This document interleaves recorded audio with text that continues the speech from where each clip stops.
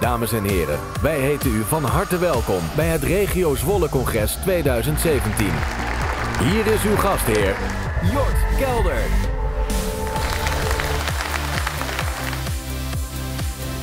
Wat is het meest excellente van de regio Zwolle? Roep het. Ik ben hey, de enige vrouw op dit podium. Kunnen jullie, dames, daar eens wat aan doen?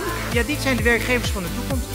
En zo'n burn-out wordt ook altijd als een kleine conjunctuurterugval gezien op weg naar de top. Het is een competitieve wereld, dus uh, ja, alles wat, uh, wat mensen bij kunnen dragen, dat kunnen we gebruiken. Maar dat wordt ook weer conjunctuurbeweging. Er komen weer bubbels, er komen weer hypes. Nu zitten we even in de hoge conjunctuur, over een paar jaar zitten we weer te mopperen. Ik vond het een ontzettend goed congres. Beter dan vorig jaar nog. Het mooie van de opkomst is, uh, hij wordt steeds regionaler. Mensen komen van, vanuit de hele regio en zelfs daarbuiten. En het programma was ook weer top.